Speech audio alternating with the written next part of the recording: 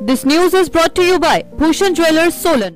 जिला सोलन से संबंध रखने वाले युवा वियतनाम में अपने हुनर के ज़रिए हिमाचल प्रदेश का नाम रोशन कर रहे हैं। हाल ही में उन्होंने वियतनाम में आयोजित प्रतियोगिता में भाग लेकर भारत का प्रतिनिधित्व किया। जिला सोलन के नालागढ़ के खेड़ा गाँव से संबंध रखने वाले कुलजीत विदेश में विदेशियों को योगा के गुर सिखा रहे हैं। कुलजीत इससे पूर्व कई राष्ट्रीय व अंतर्राष्ट्रीय प्रतियोगिताओं में भाग ले चुके हैं। उन्होंने आयोजित प्रतियोगिताओं में 10 स्वर्ण, दो रजत व दो कांस्य पदक हासिल किए हैं। दिव्य हिमाचल से विशेष बातचीत के दौरान कुल बताया कि उन्हें योग को अपनी आजीविका के रूप में अपना लिया है और वह काफ़ी लंबे समय से वियतनाम में योगा के गुर सिखा रहे हैं।